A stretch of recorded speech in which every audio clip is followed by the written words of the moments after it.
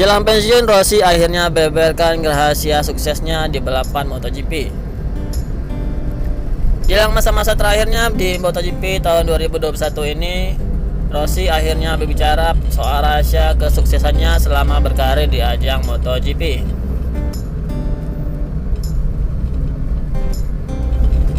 Rossi mengatakan rahasia suksesnya adalah saya kidal, tapi tipe kidal yang saya sangat khusus yaitu saya ambidextrous.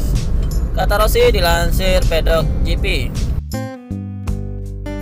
Sekedar informasi dalam istilah kedokteran itu disebut ambidexterity. Istilah itu berasal dari bahasa Latin yang terdiri dari kata ambo yang berarti keduanya dan dexter untuk tangan kanan.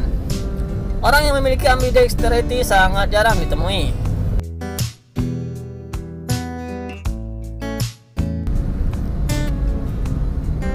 Dari 10 sampai 15% populasi orang yang ada di Eropa yang mempunyai tangan kidal, hanya satu persen yang mempunyai tipe khusus tersebut. Seperti penjelasan tersebut, Rossi mempunyai tangan kanan yang bisa melakukan segala hal sebagaimana yang dilakukan oleh tangan kiri Rossi. Hal inilah yang membuatnya Rossi mampu melakukan belokan ke kanan yang sangat cepat, berbeda dengan pembalap-pembalap lainnya.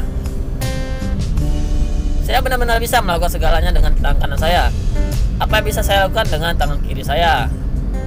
Banyak pengendara yang sangat kuat di belokan kiri, tetapi memiliki lebih banyak masalah di belokan kanan. Mereka lebih kesulitan karena Anda harus mengatur akselerator tangan kanan Anda jelas di dokter.